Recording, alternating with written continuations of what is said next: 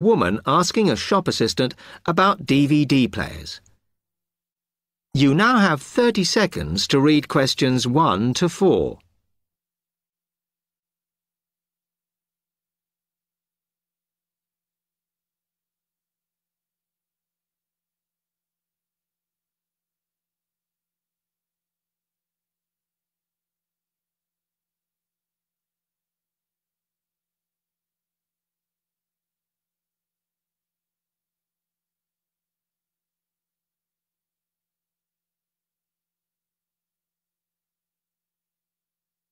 Hello, I'm interested in buying a DVD player. Can you help me, as I don't know very much about them? Of course. We sell quite a range. Actually, we're doing a customer survey at the moment, so I wonder if I could fill in this form about you, and that will actually help me to advise you on the best DVD player for you. Oh, okay. First of all, your occupation. Um, student. Okay. Then, have you already got a DVD player? Uh, no, I've never had one before. Uh huh. And how much do you think you want to spend on a player? Mm, I'm not sure, really, but I have got a budget. My friend said I should allow about a hundred pounds, but I can't afford over eighty-five pounds, so that's what I'm working on. Mm-hmm. And do you watch DVDs very often? Um, depends what you mean by often. I don't know what the norm is. Is it about two a week? Uh, I suppose I watch three a month. That's enough for me. Yes. what sort of films do you like watching then? Action movies? Not really. Oh. My boyfriend always insists we watch science fiction movies, but I prefer thrillers. Something to get your teeth into. Okay, just one more.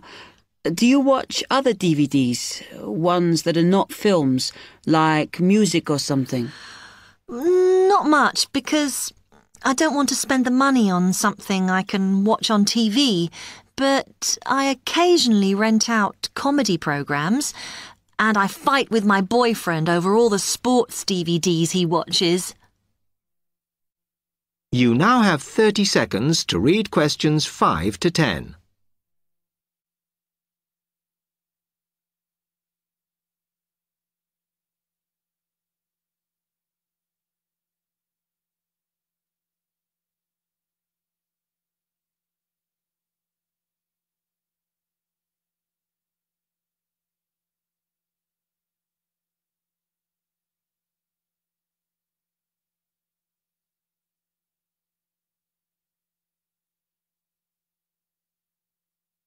Okay, let me explain a bit to you about the DVD players that are in your price range. First, there's the DB30, which has only got basic features, but it is a bargain at £69. Now, all the DVDs come with an after sales service that starts when the guarantee runs out. As it's so cheap, the DB30 comes with a limited after sales service, as it only includes parts. You would have to pay for most of the repair. Hmm. Mm, seems okay. Hmm. Then, a slight grade up from that is the XL643. This comes with an additional feature in that it has an extra button allowing you to record. That's quite useful. Oh, yes. That would mean spending less on DVDs to watch. Yes, so you'd make the extra money back on it that it costs. Mm. Let me see how much it is. Uh, ah, yes. That one's actually reduced at the moment from £79 to seventy-one ninety-nine. Oh. I think it's worth the extra myself. And is that the same level of after sales service as the other one? Well, you get a bit more for your money because what we're offering is a discount on labour. So you don't pay the full price if you have to call an engineer out. I see. Then the last one is this Tri-X 24. It's a very good player, and you can use it to listen to your CDs as well as watch DVDs. Hmm, it looks nice, but I bet it's expensive. No, it's not top of the range. Let's see. Yes, it's £94. But what you have to remember is that that includes insurance, so you don't have to pay extra for that. And it comes with a guarantee that's valid for three years, as opposed to the usual one. What do you think? Hmm, maybe.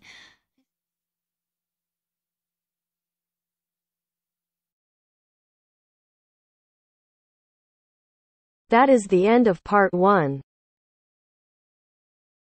You now have half a minute to check your answers.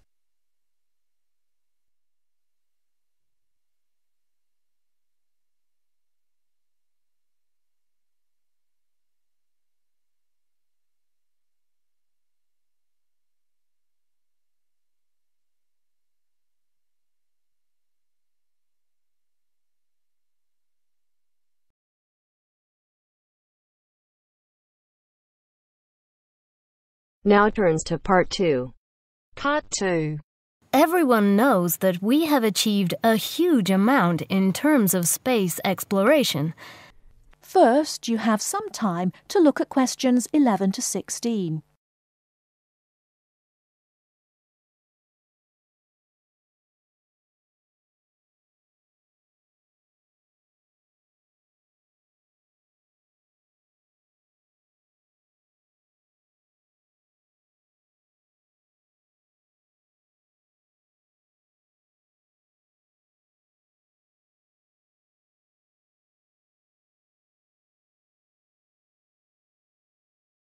Now, listen carefully and answer questions 11 to 16.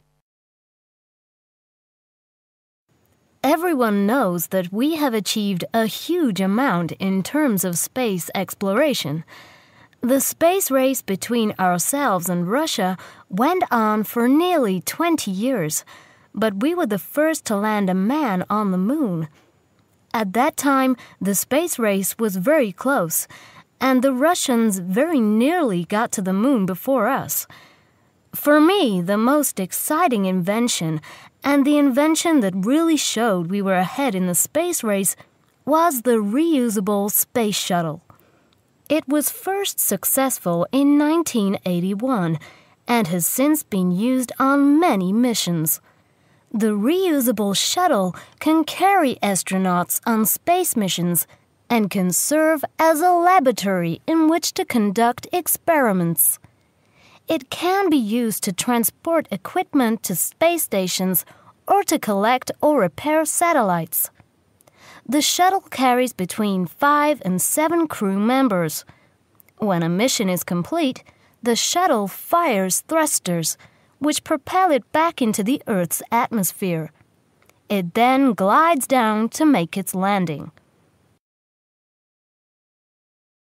Before you hear the rest of the talk, you have some time to look at questions 17 to 20.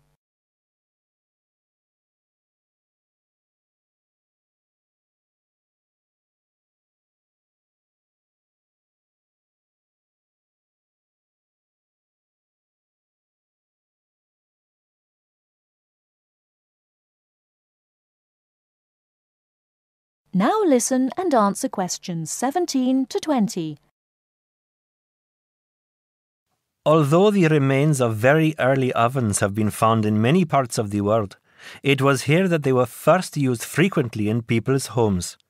In ancient Greece and in other parts of Europe and Turkey, people used ovens to bake bread. But it seems there was only one large oven that everyone shared. Here, the remains of villages from 5,000 years ago show that each mud brick house was constructed with an oven, and that baking bread and perhaps cooking meat was very common. The ovens were made of clay and shaped like a beehive. Inside they had shelves, so that a number of loaves could be cooked together, and an opening at the bottom from which ash could be removed. That is the end of part two. You now have half a minute to check your answers.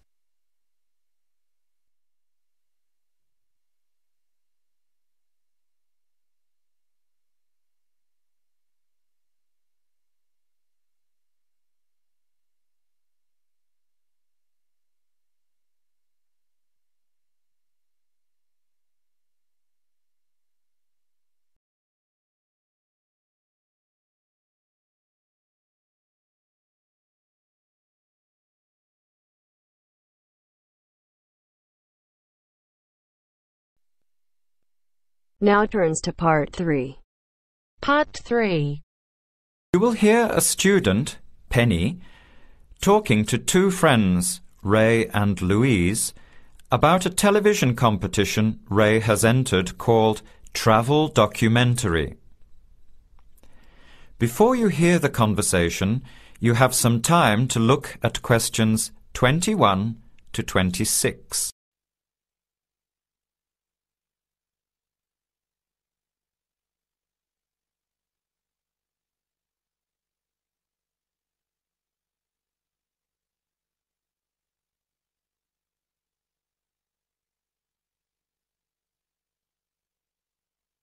Now, listen carefully and answer questions 21 to 26. Hi, haven't seen you two in ages. What have you been up to? Hi, Penny. Ray is really excited. He's just been shortlisted for travel documentary. He could be off travelling around the world for three months. Travel documentary? What's that? You've never heard of it? Don't you watch TV? Well, actually, no, hardly ever.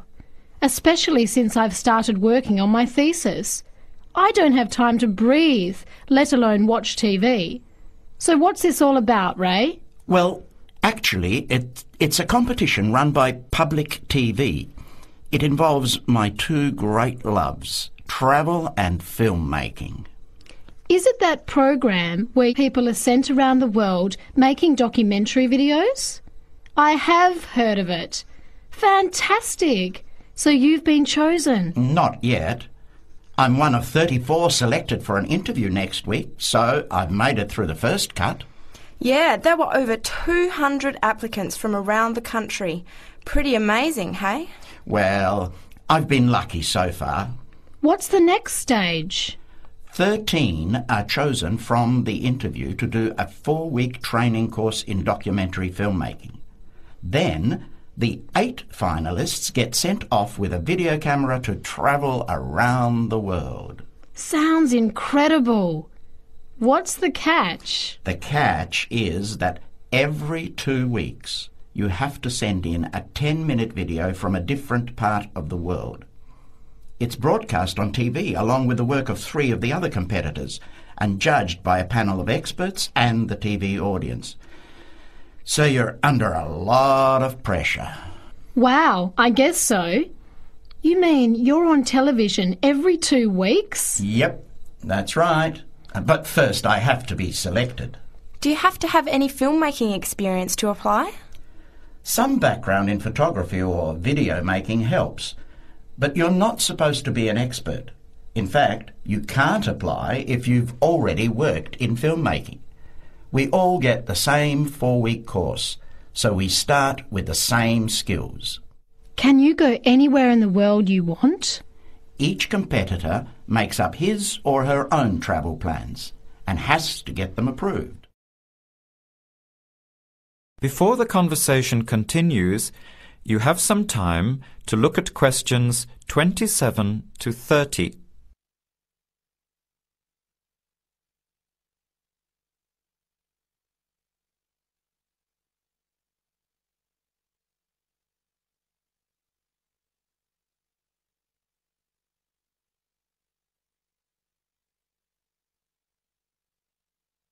Now, as the conversation continues, answer questions 27 to 30. Have you talked with anyone else who has done it? As a matter of fact, just last week I met Sarah Price, a girl from here who did it last year. What did she have to say about it? She said it was the most amazing experience of her life, but it was really tough at times.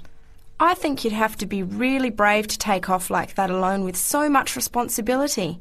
It's not like going on a holiday, is it? no. Two weeks in a country, often where you can't speak the language, to find a story, film it, organise all the editing. Then you're off to a completely different part of the world to start all over again. Pretty exhausting, but exciting too. What a way to see the world. What about Sarah Price? Did she have any bad experiences? She said the worst part was when she got some mysterious fever in Mongolia and thought she might have to be sent home. Fortunately, it got better, but she said it was scary to feel really ill when you're alone so far away. So, what made you want to apply? When I saw the program on TV a while ago, I thought, this is for me. I've always wanted to travel, but needed to work for a year before I could even think about it. Then a new series started up. I thought, now's my chance. Don't you think you'll be lonely? I don't think I'll have time to be homesick. I'm more worried about having too much to do and not enough time to get things organised. So, we might be watching you on television in the next few months. I hope so, if I'm lucky. When will you know for sure? They choose the final eight in March. A month later, you're on your way. So, do you have to pay anything? Nothing. It's all paid for. Course, camera, flights, accommodation, and in country travel. The budget is pretty tight, though. No extras. I sure hope you get it. Then I'll be finding time to watch at least one program on television every week. That is the end of part 3. You now have half a minute to check your answers.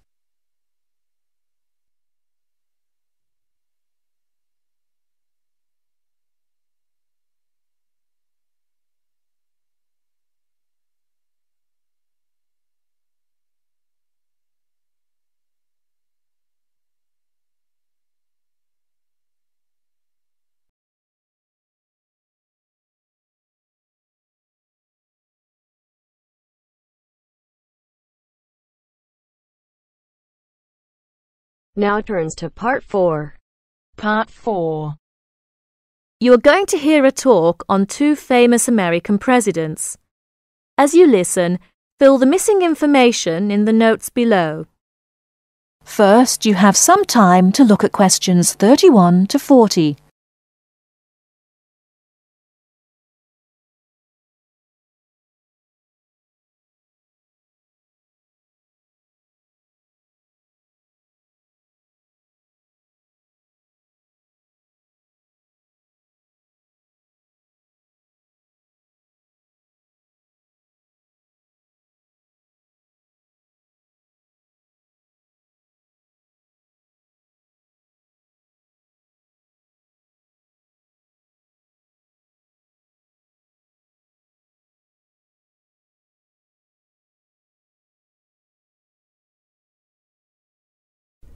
Now listen carefully and answer questions 31 to 40.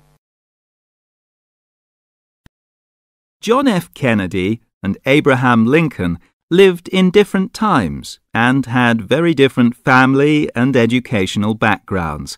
Kennedy lived in the 20th century, while Lincoln lived in the 19th century. Kennedy was born in 1917, whereas Lincoln was born more than 100 years earlier in 1809. As for their family backgrounds, Kennedy came from a rich family, but Lincoln's family was not wealthy. Because Kennedy came from a wealthy family, he was able to attend expensive private schools. He graduated from Harvard University. Lincoln, on the other hand, had only one year of formal schooling. In spite of his lack of normal schooling, he became a well-known lawyer he taught himself law by reading law books. Lincoln was, in other words, a self-educated man. In spite of these differences in Kennedy and Lincoln's backgrounds, some interesting similarities between the two men are evident. In fact, many books have been written about the strange coincidences in the lives of these two men.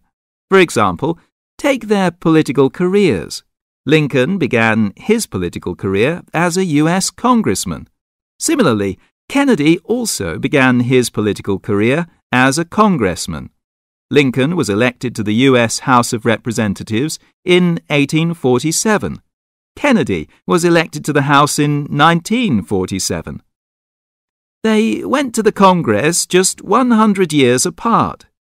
Another interesting coincidence is that each man was elected President of the United States in a year ending with the number 60. Lincoln was elected President in 1860 and Kennedy was elected in 1960. Furthermore, both men were president during years of civil unrest in the country. Lincoln was president during the American Civil War. During Kennedy's term of office, civil unrest took the form of civil rights demonstrations. Another striking similarity between the two men was that, as you probably know, neither lived to complete his term in office.